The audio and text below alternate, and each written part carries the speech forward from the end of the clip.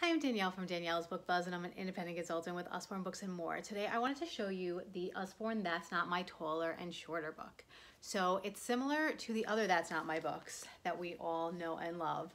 So this one is That's Not My Hedgehog, and the That's Not My books, they are touchy-feely, and each page says that's not my whatever animal it is, or um, whether it's a truck or a car or a doll and it tells you why and then you find the white mouse and it's got textures. And each page does that has repetition and then you get to the end and it tells you that's my hedgehog. Its back is so prickly. So the regular that's not my series these ones are $9.99 there's tons of different ones in any so any animal or thing that you could possibly want to look at so this is that's not my taller and shorter so this one is also $9.99.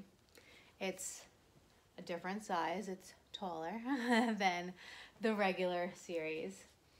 And it has the little white mouse on each page for you to still find. It says frog is taller than mouse, but shorter than duck. So it gives you tall and short, but it also gives you a relationship.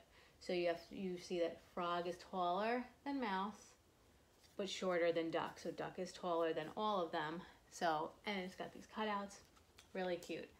Meerkat is taller than duck, but shorter than fox. And then there's the white mouse. So it gives you sets of animals and a relationship so you can say who's taller, who's shorter. It says you're taller, you're all taller than me, little mouse. But I'm the tallest of you all, so that's really fun with the giraffe. So really cute book um, to learn the relationship of taller and shorter. So you can check this out on my website, which is daniellebookbuzz.com.